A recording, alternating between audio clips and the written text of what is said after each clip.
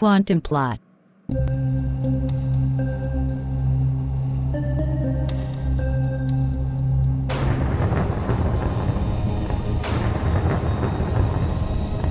This plot had a happy existence in all states before you observed it.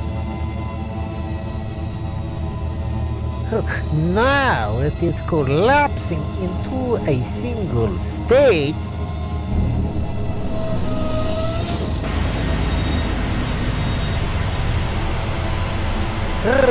I hope you are satisfied